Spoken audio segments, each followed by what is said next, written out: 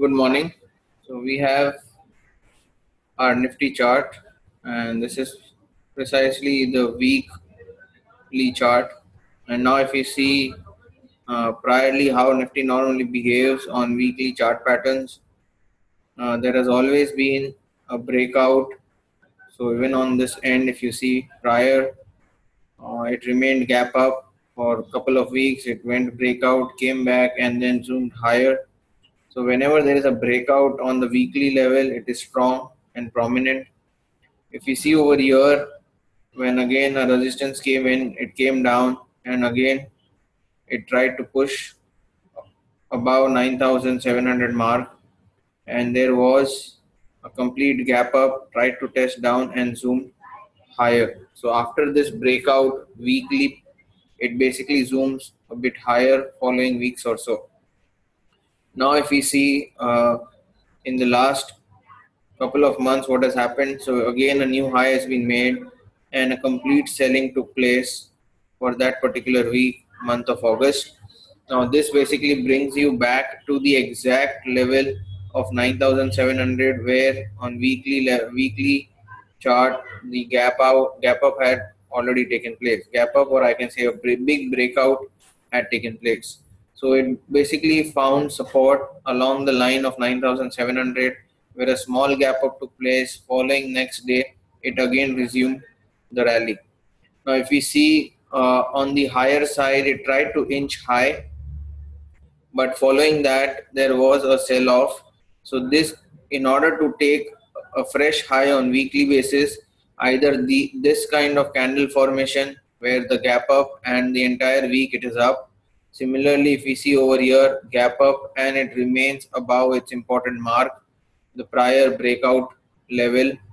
Uh, so what has happened over here in this couple of weeks ago, it tried to inch high, but even inside the candle, it did not maintain about 10,130 or 140 mark, which was previously Nifty's high.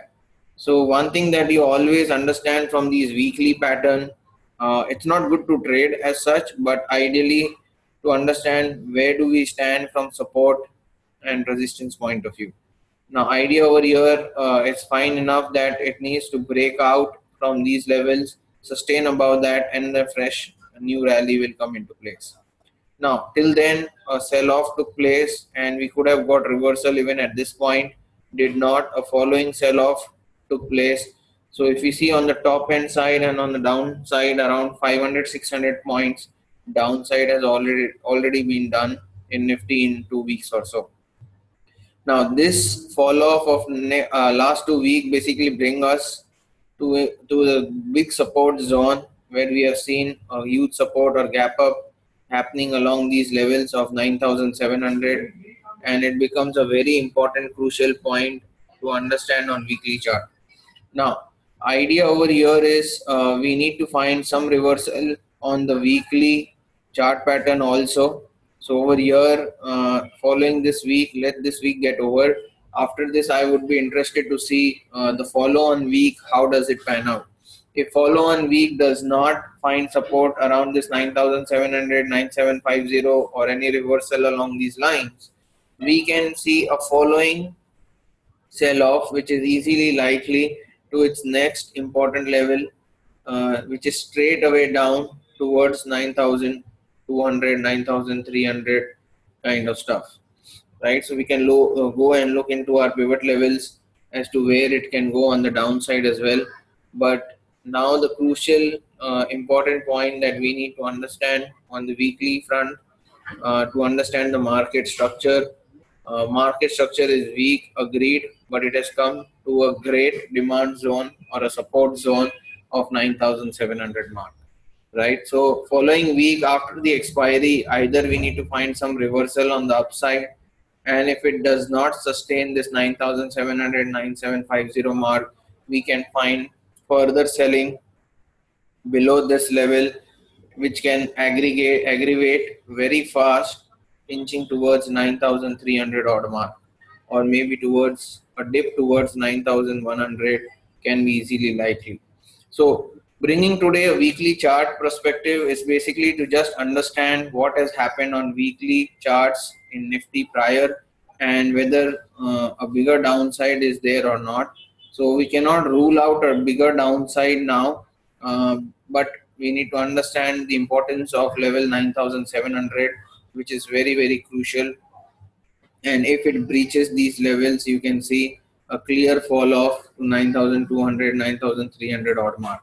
So let's go on the pivot side and try and understand uh, can we get some good pivot line as well on these levels also. So first let us understand the important part or important breakouts where it has happened. So previous breakout was in the zone of around uh, 9000 and I can say 9100 mark. And on the upper side, I would I would say my bigger breakout was around this 9700 and 9750 mark. So let me remove all these lines so things become clear. Now I'm going and placing my pivot level and trying to understand are we finding any S1 or pivots or R1 at these level 9700, 9000 or 9100 odd mark. So let's place uh, pivot. A standard pivot will also do. We're just trying to understand if there is a downside, uh, where it can go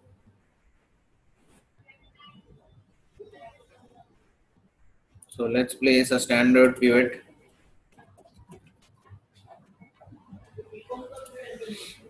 Now, if we see over here, uh, the normal only weekly pivot, if you see year to year, these levels are very important, right? So the entire year it will not change.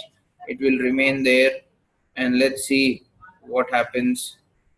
So what has happened previously as well. So when you were seeing 15 to 16, when a fall off took place, it did come down to its pivot, bounced back from the pivot levels, and then the year changed. Again, we found support S1, which was breached, and then reversal was taken place. So we cannot just assume uh, weekly pivot, but we need to add other things also to that. But it went down to this R1, sorry, upside on the R1, and then add a resistance or a follow on seller over here if you see this year when it started it was around the pivot went down went up all the way to r1 breached r1 reached almost towards r2 exactly towards r2 found selling so one selling was seen around r2 then again it went up. Again a selling is seen around this r2 level.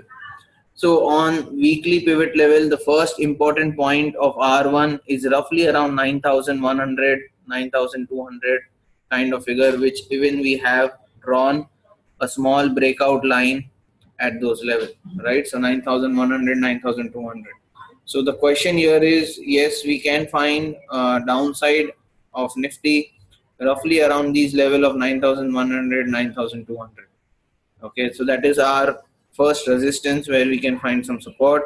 If we are looking for pivot levels down it is straight away to 8000 so that is not that easily or likely but we cannot rule out r1 which can be tested uh, in this year or so. Okay now seeing this r1 which we basically been found on the weekly side let's go and see on the daily side and also place pivot at these sides as well. So when you go and look on the daily side let's put pivot for daily as well. Now on the daily front uh, it is basically month to month and they keep changing or shifting based on their prior weeks and yearly is high or low.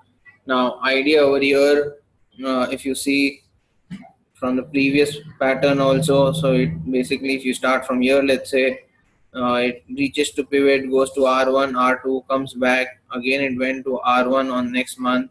R1 there was resistance comes back in the next year, month. It went up to R2 even to R3 and we found some resistance from R5 resistance was seen came back to the support of S1 and then it rallied all the way again towards this R1 and a sell-off took place right so normally it finds support along pivot or support lines as we have seen prior now if you see on the daily side the pivot it is exactly trading around those pivot levels.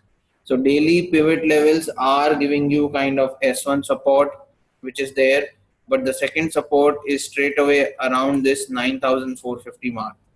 So if this support is breached, we would basically get 9400 mark as the next base level of support for Nifty. Right. So there are two important points on the weekly front and one important point on the daily front. So these are the lines which we have found. Uh, these two breakouts are basically on the weekly front pivot levels are also important for them.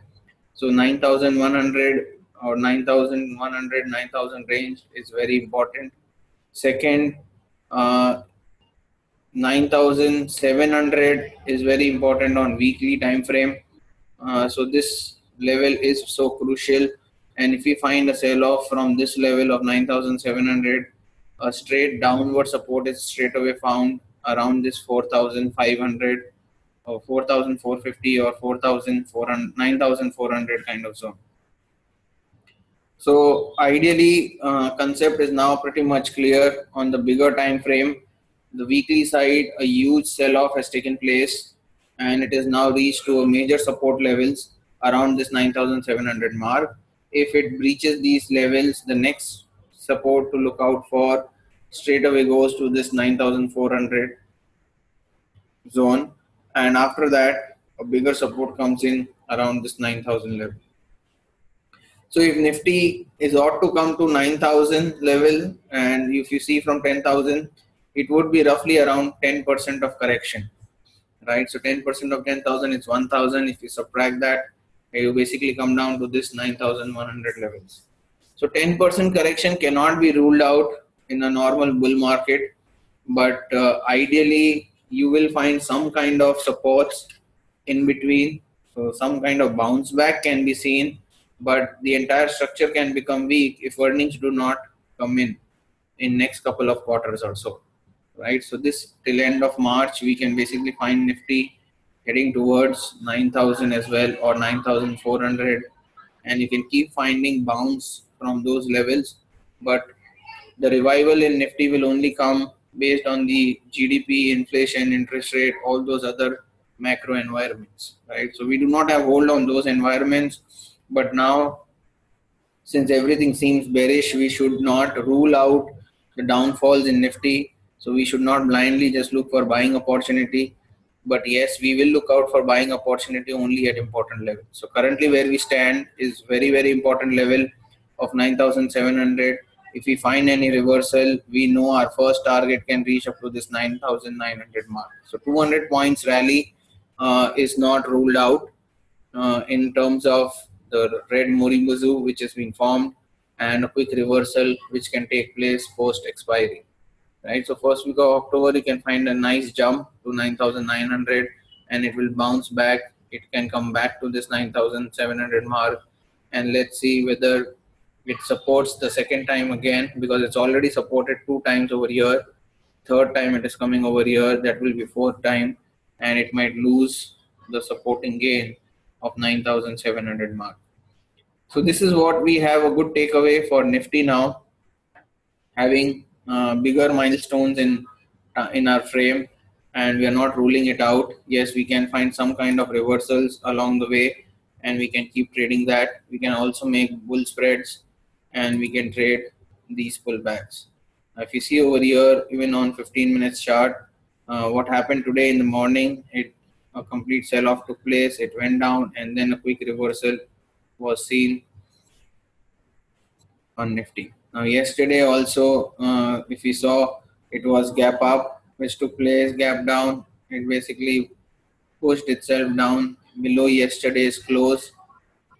Um, so, what happened over here? This sell off which took place, the reversal was not in sight, which we were looking out for. We hit our stop loss but the idea which you should understand if it hits your stop loss it has a potential to go further down right? Because it exhausted the gap and a bearishness was there which was not even confirmed here but it was also confirmed by a second red candle along the way right? So these kind of trades can be taken whenever your stop loss are hit. You can basically sell more or buy a put option uh, to recover your stop loss at least. Uh, so those kind of strategies can be placed. Now, if you are looking out today over here, a complete bearishness uh, inching below 9,700 and a quick reversal can be seen over here, which is now trying to eat away all the intermittent highs which were there at the last trading session of yesterday. Even if you go on five minute chart, you know, the things become very much clear. Right from morning, there was a sell off and a small morning star has been formed, small doji with a morning star, and then you find this reversal coming along the way. Right, but it might be sold into because it's an expiry day, so it will be choppy, and if they can uh, bring all, it, it might go up and then it might bring market back down to this 9,000 towards 9,700 mark. So no big trade as such. I was just trying to understand uh, on the pivot level basis, on weekly basis, how things work, and it's a clear significance of um, Nifty can be now seen at levels of 9,700. Now, let's take Bank Nifty the same way. So Bank Nifty also we have a weekly chart now the first trigger of upside on Bank Nifty was seen around this 20,000, 21,000 odd mark, uh, where we found a good rally which took place and it went all the way to 23,800 to 24,000 mark. Right, so those levels were important for Bank Nifty. Uh, if you see over here, uh, the breakout basically happened along the zone. It zoomed high, it came down, it tested this 23,800 mark slowly steadily started inching higher towards the same level and a sell off took place right so obviously it did not and right from start we were not bullish on bank nifty because it was not able to inch higher from the pivot level of 25100 mark and then we saw selling which also brought nifty down now the important point for bank nifty here to understand is it has come to its crucial level as in Nifty had come to its crucial level and the level is roughly around this 23,800 mark. So one thing is very clear, uh, even Bank Nifty can find some sort of reversals along these lines. Uh, but if it does not find, we can basically see a decent downfall even in Bank Nifty. So the first downfall can basically bring uh, Bank Nifty straight away to 23,000 odd mark because this was the level where uh, the correction had come from the high previous high of bank nifty came down towards this level 23000 or 23200 and a reversal was seen around these levels or so or to be more precise 23150 right so these are the range which is important for bank nifty now so if bank nifty cracks down the first support will be found in this zone of 23000 so there is around 800 points downward rally is possible as it is forming double top over here. It might bounce back and then a sudden rally can hit towards 23,200 mark. Right. So let's go and again place pivot for Bank Nifty as well. Uh, let's see if we can find something over there. So on the weekly uh, bank nifty we are trying to put pivots and the weekly pivots basically remain for the entire year now if you see over here uh, the pivot level is way way down so that won't be that significant but the resistance which we see over here uh, is roughly around 21400 so weekly resistance is also very very far uh, but i can say it is almost towards the breakout which has happened long back in this year itself uh, that is where the first resistance is lying, right? So 21,500 is where the resistance of weekly is coming in, but we'll be cautious. It won't go so much down unless a big crash like scenario happens. Uh, it cannot be ruled out, but we are quite away from there. Uh, let's see. Uh, so that was the breakout zone, but let's see on the daily front uh, if we have the pivot levels for us.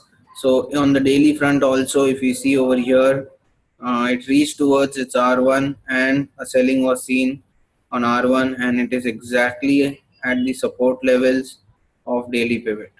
Right. So we have the good point for Bank Nifty on at least on daily side, we are at the support levels and a crucial level on weekly chart also. So one thing which we can do is around this 23 675 to be more precise okay is your support level S1. Now the next support level is straight away around the zone of 23,000 uh, on the downside. But after the month get over, the pivots will change, but more or less it will remain in this range of 23,000 to 23,800 mark. Right. So as we were discussing prior, uh, it's pretty much clear now that the supports are around these range right? So if we find any kind of mistakes at the bigger level or bigger support levels, we can see Bank Nifty inching down towards its prior prior rally phase, which was there roughly around 23,200 mark, right? So this was the mark where it basically came down and then zoomed all the way high towards this 25,000. So the rally of 23,000 to 25,000 was very steep and fast and then a pull off took place it came back down tested its previous uh, breakout zone and tested it twice and now it is back in and it is now testing it for the third time. So it might find some reversal along this range uh, that seems to be decent because pivot supports are there and on the bigger structure the breakout zone also happened around this range.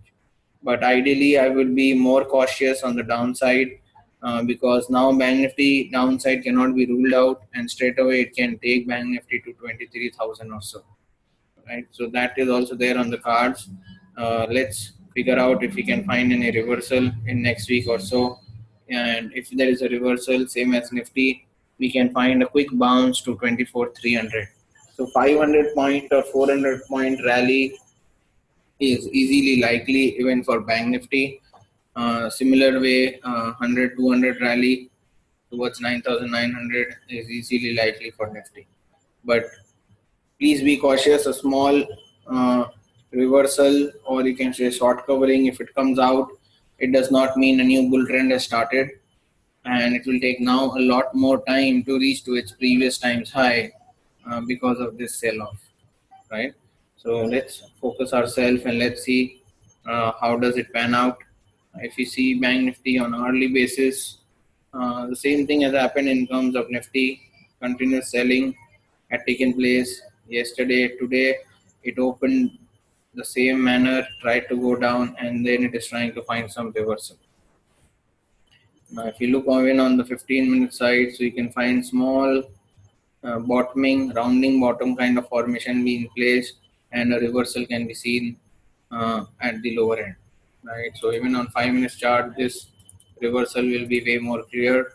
Uh, if you see over here uh, fine it is trying to inch lower and lower and now suddenly it's trying to inch higher. So bank nifty is not finding that smooth reversal as compared to nifty but a small bounce back cannot be ruled out after such a long selling.